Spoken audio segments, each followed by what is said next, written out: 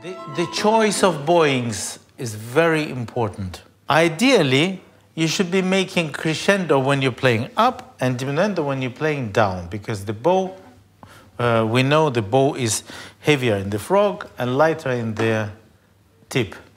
Now, if you're starting or you started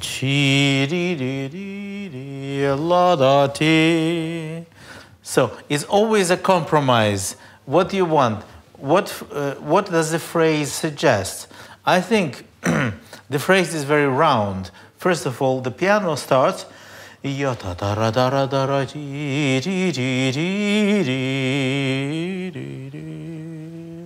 would start up bow because it's not a new beginning, if you know what I mean. This piano has started already. The accompaniment, this quavers,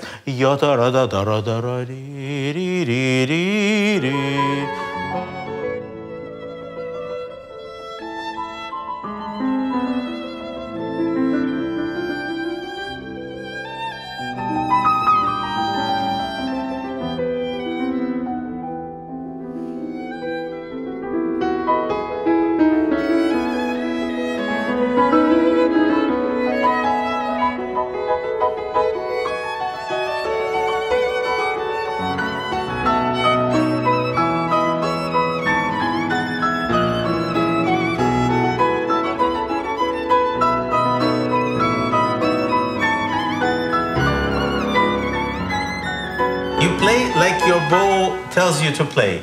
So if it's uh, up bow, then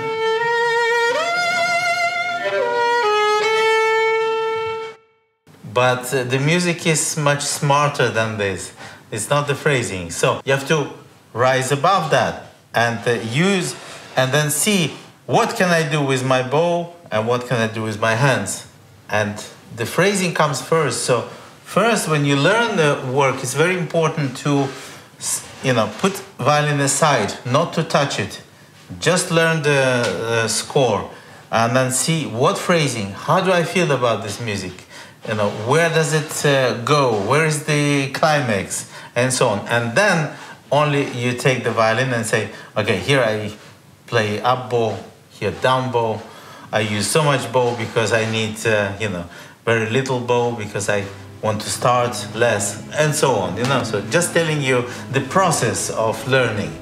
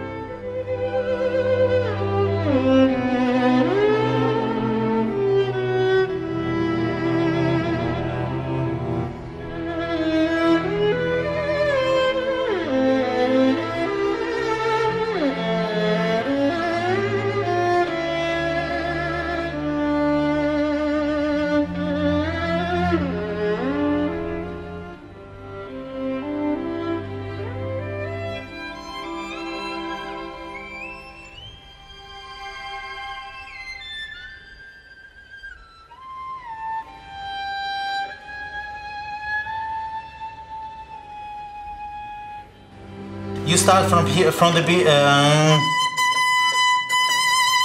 and you already end up being in the frog. Uh, but if you think about it, the bow, it's lightest at its tip, you know that, yeah? And it's heaviest in the frog. So if you start from here, you're, it's inevitable that you're going to make a, create an accent. So I would be really free.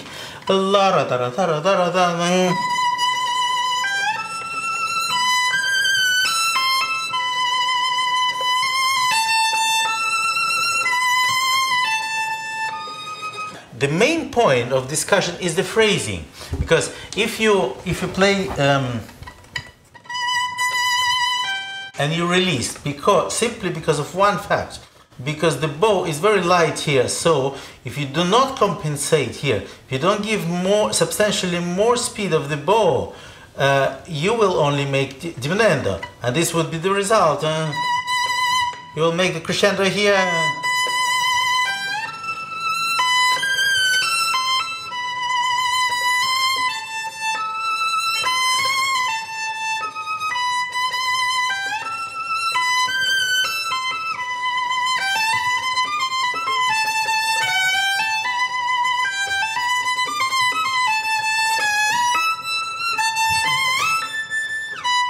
and so on. Yeah. So we have the bow and uh, we have to work with it. You know, if we turn this bow around like this and play it like this, then we would have a different effect. So we would play like this. Uh,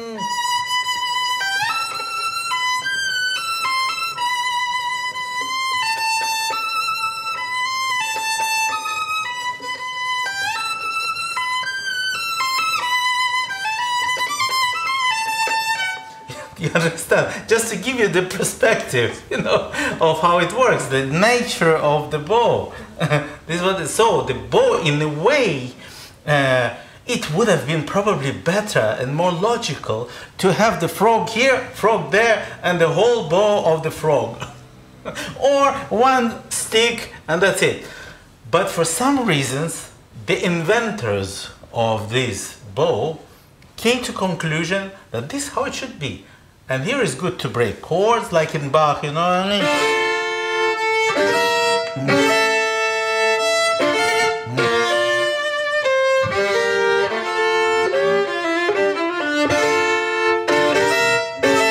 and it's sort of comfortable to break here because you can you can get three or more notes uh, here in the book and you wouldn't do that uh, and so on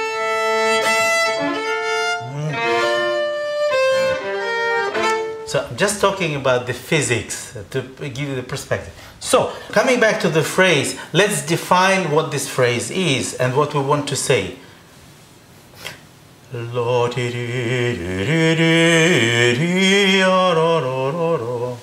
now let's uh, let's practically think how the bow would work. Uh, how what can we do with the bow? What is the distribution of the bow? Because the key to the successful phrasing is its good distribution.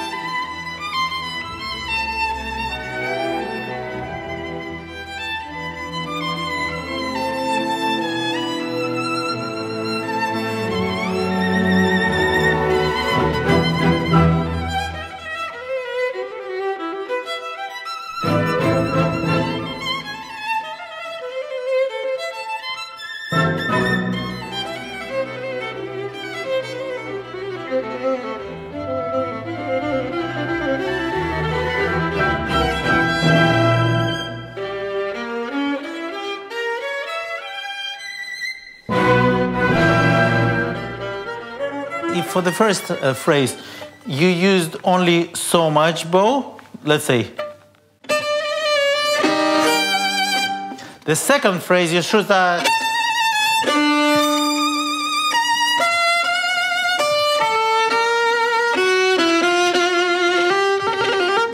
and so on. So the second phrase must, must start with a twice amount of bow. So significant raise. Otherwise, the two are going to be alike.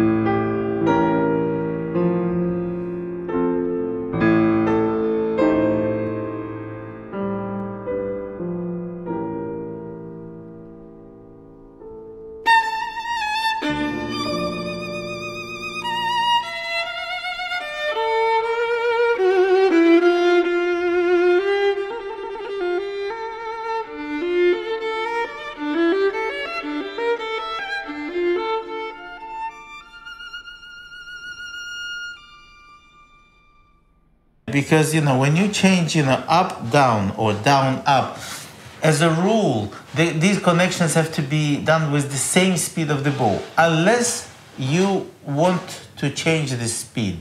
But you have to be always in control. At the moment, I don't feel that you are controlling this, these changes. Uh, and usually, the, as a rule, uh, from one note to another, we don't have to hear this change, and that has to do with the coordination of right and left hand. Uh, and if that's not happening, then it's very mm, hard to trace the, any ideas that you have for phrasing, because you know phrasing is the uh, as if you know if I spoke always I um, each um, uh, I I would put each accent on each word, each consonant, you know, uh, then you wouldn't be able to get the sense. You would get some idea of what I'm saying, but you know this is what phrasing is about. Don't think that you know playing slow is not virtuosic. You know the way you uh, you can connect uh, just up. Uh,